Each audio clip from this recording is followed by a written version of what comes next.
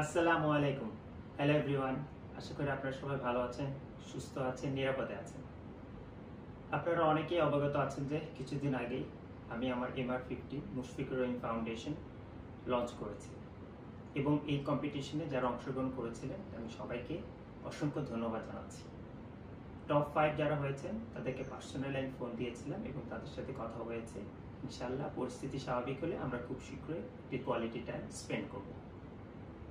Main time আমি আপনাদের সামনে আরেকটি সারপ্রাইজ নিয়ে এসেছি, আর সেটি হলো আমি আমার ইউটিউব চ্যানেল ওপেন করতে যাচ্ছি।